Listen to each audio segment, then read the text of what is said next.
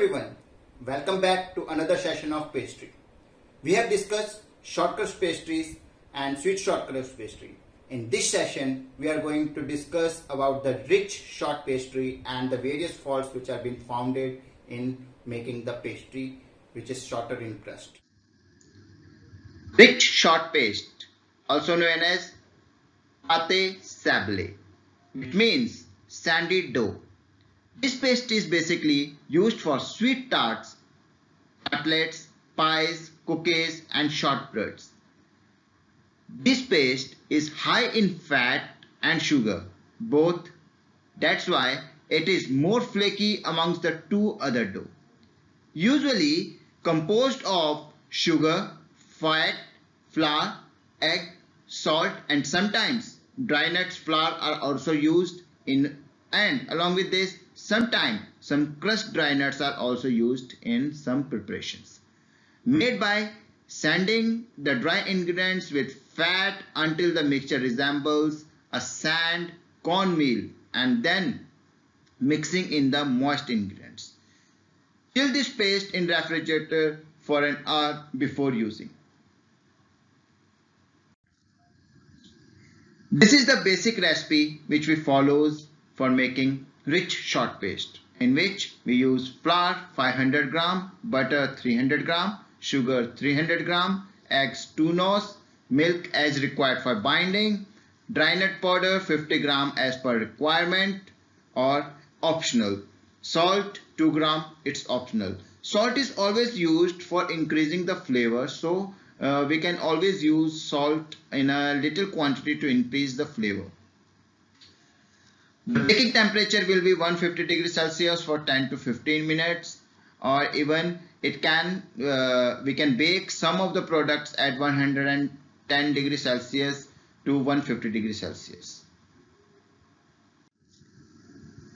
Sanding method. Sanding method is when you mix the dry ingredients with fat until the mixture resembles a sand cornmeal texture. And then mixing in the moist ingredients, adding eggs, makes uniform dough is formed. This is, this is the method which is used for rich short paste. On the screen you can see the first step is flour and fat is mixed with a fingertip until it's coat the fat. Right? Then we rub in between the palm and finger resumes a sandy texture. Then we add powdered sugar, egg, salt if we are using a savory uh, product, dry ingredients, uh, dry nut powder is mixed in this step. And in the last we mix all the ingredients and, and uh, prepare a smooth dough and we wrapped it for some time so that we can handle it on later. Baking the crust. There are some terms which are being used to prepare or to make this uh, crust of short crust or you can say uh, pie and tart dough. Uh, first one is a docking, to dock or to prick.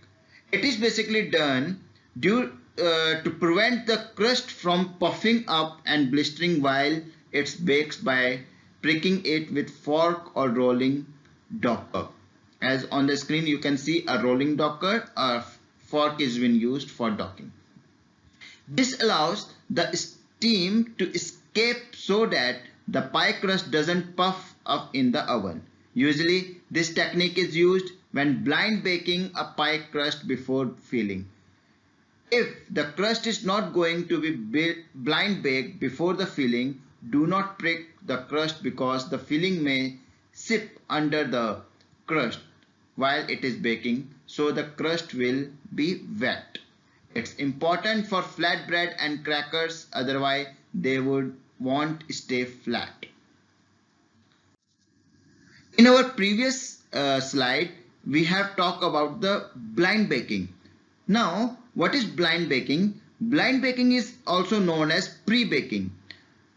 In it is the process of baking a pie crust or other pastry without any filling.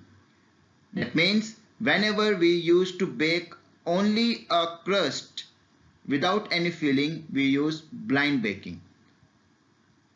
Blind baking a pie crust is necessary when it will be filled with an unbaked filling such as with pudding or cream pie in which case the crust must be fully baked. It is also called for if the filling has a shorter baker time or baking time than the crust in which case the crust is partly baked. Blind baking is also used to keep pie crust from becoming soggy due to wet filling.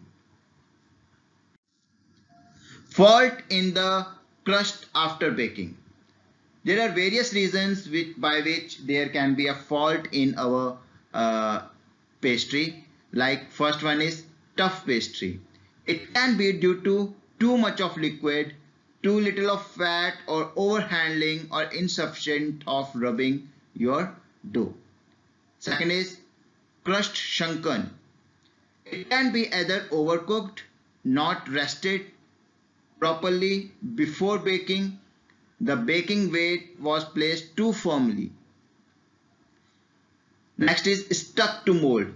That means you have used too much of liquid. Shape distorted after blind baking. Not docked properly. So docking is that much important. Soggy crust filling is too moist or sugar in a sweet pie is in contact with pastry. For a double crust pie, use ideally a metal pie. That means a metal pie plate is used for making double crust pie and butter the pie plate before lining with pastry. Shrunken pie, oven temperature is too low and cold pastry put over hot. Filling, too much liquid in filling or too little filling is there. Speckled pastry, undissolved sugar grains in enriched pastry crust. This can lead to a speckled pastry. Soft and crumbly, too little water is used, too much fat is used, self-raising flour used instead of plain. That is the reason of soft and crumbly. That means the flour is also important over here. Pastry blister. Fat not rubbed insufficiently. Too much of water can be the reason for these faults. Thank you very much. In our next session, we will discuss about choux pastry. Thank you. Stay safe. Take care.